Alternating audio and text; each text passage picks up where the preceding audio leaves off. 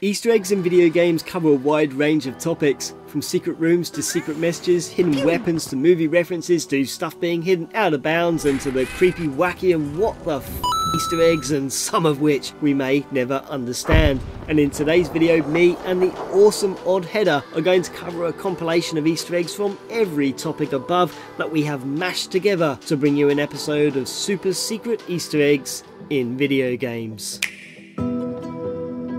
Thank you so much again, James. I'm hugely excited to be back on the channel. And don't forget to subscribe to both me and James if you want to see more collaborations like this in the future. Yume Nikki and Nightmare House 2 During the 2004 psychological horror Yume Nikki, it is when you visit the Pink Sea that you can venture into Poniko's house and switch off the main light. Where in doing so, there is a 1 in 64 chance that the player will be greeted by a creepy looking character known as a Uboa, which if you decide to touch, you'll be whisked off to an utterly bizarre, disturbing, and creepy endless world.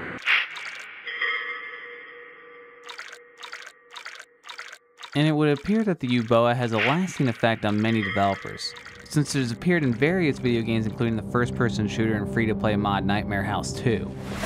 As once you reach Chapter 4 known as Operation, you will have to wander through a dark and creepy hospital, where to the left you can discover the maintenance room.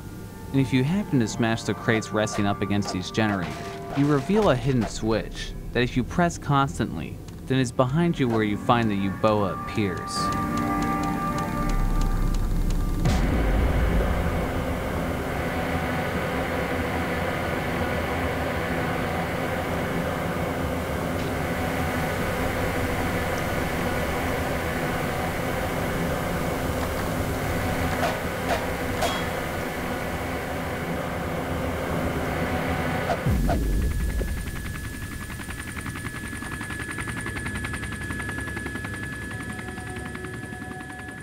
One of the oldest and reoccurring Easter eggs to be found in Bohemia Interactive's Arma series, a secret that in fact dates back to 2007, happens to be hidden at the bottom of many of the chimneys that are dotted about the game. And in this case, we'll be using Arma 2 with the DayZ mod attached, as it is to the far south of Chernarus that you can find the industrialised city of Chernogorsk, where to the east there are several factories sporting large chimneys and ladders attached allowing you to climb all the way to the top, where you can get to grips of the surrounding area, take note of the enemy's position, and you can also peer inside the chimney where you will discover a rather creepy looking Santa Claus.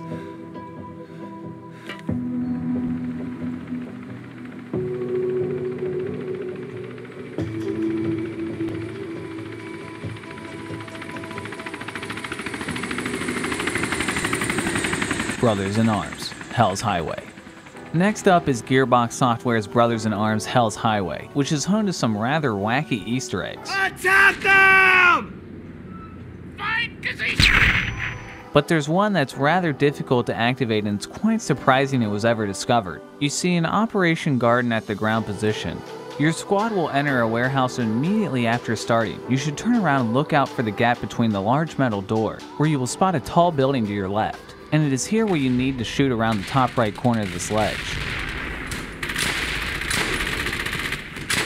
Then you need to head back inside and shoot the corner of this large beam and then head to this pillar and look up to the roof and shoot this part of the brickwork.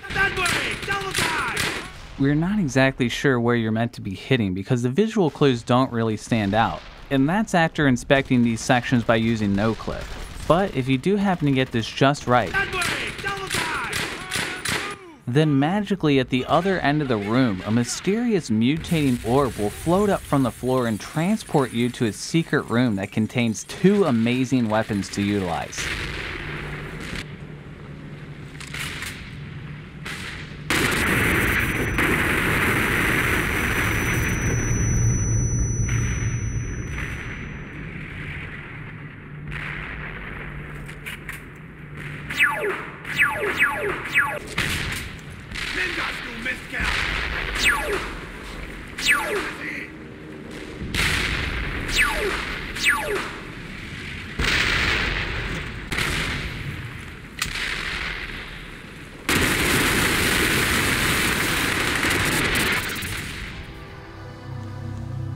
Developers LucasArts have always tucked away decent Easter eggs within their adventure games. Where do babies come from?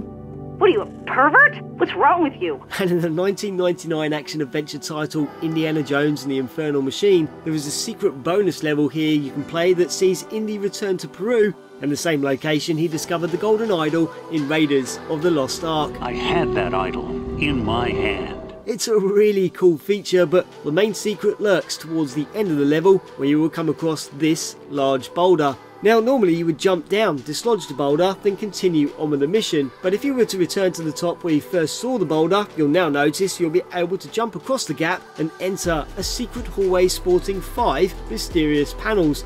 That, if pressed in the correct order, not only will you hear that famous tune from Steven Spielberg's Close Encounters of the Third Kind,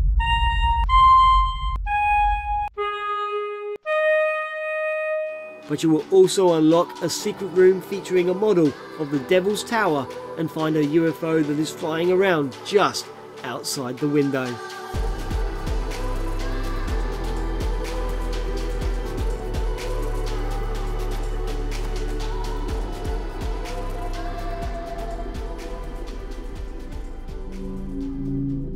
Fear Perseus Mandate. In the Perseus Mandate, an expansion for Monolith Productions' 2005 survival horror title Fear, First Encounter Assault Recon, you can discover an amusing message located towards the end of the game during Interval 7's clone production segment. As just after Alma has appeared, you have to take down a few soldiers and then arrive at this large platform, where if you happen to look over the edge, you will spot various walkways and a large void below which you can actually jump down into by hitting T and punching in the God command. It's an area you're definitely not meant to get in. And where, yeah, there is certainly no escape. And if you take out your flashlight and examine the walls here, then you will eventually stumble upon this secret message that reads, I suck at making maps. This message is more than likely a reference to the same exact messages developers would use as a mean of motivating level designers to replace missing textures during the development of Doom 64.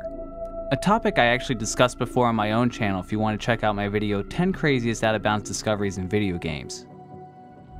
In Surreal Software's 2004 psychological horror The Suffering Ties That Bind, it is during the earlier part of the game when you need to pass through the pawn shop and it's just in the back where you should check out the toilet as by switching off the light, turning on the tap, flushing the toilet three times, turning off the tap and flicking the light back on, that amazingly a strange looking weapon will appear at the front of the store that actually now needs to be destroyed. After carrying out these steps you need to head out back and help a Ajira take care of all the upcoming deadly creatures and then proceed into the back room of this building where, for some utterly bizarre reason, this character known as Captain Karaf will smash through the wall and immediately start to attack you with an incredibly powerful secret weapon known as the Swizzle Stick, which you can take for yourself after killing Captain Karaf, a character who was originally going to be the Kool-Aid Man, but due to potential copyright issues he was changed into a carafe glass container to honour the memory of a bunch of sangrias the team shared at a local bar found in Fremont. Call of Duty United Offensive Expansion Pack. Call of Duty was created by developers Infinity Ward and released on October 29, 2003. And just under a year later, Gray Matter Interactive Studios had produced an expansion pack for the game known as United Offensive, bringing with it 12 brand new missions, additional weapons, vehicles, and bonus extra modes and maps to the multiplayer option.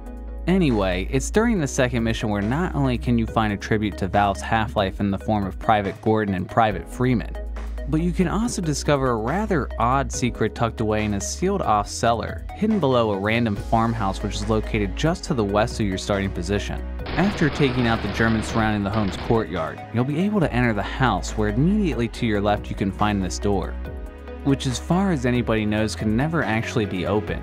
But if you happen to open up console commands and punch in noclip, you can now pass through the door and wander into this secret room where you will discover a giant cow sporting a rather large cowbell. It's not known exactly why this is here, but developers Infinity Ward seem to have a fixation with cows especially in their earlier Call of Duty titles.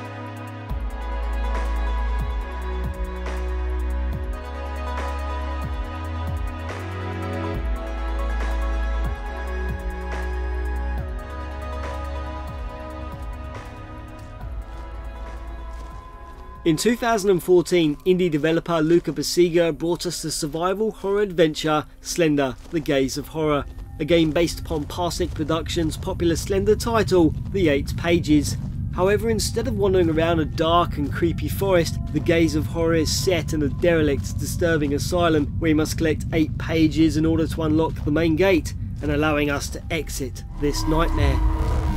But instead of doing just that, you can actually exit the game via a secret room which is located on the other side of the asylum after gathering up the final page. And if you manage to avoid Slender, who is extremely aggressive at this point, then you'll be treated to this rather wacky Easter egg.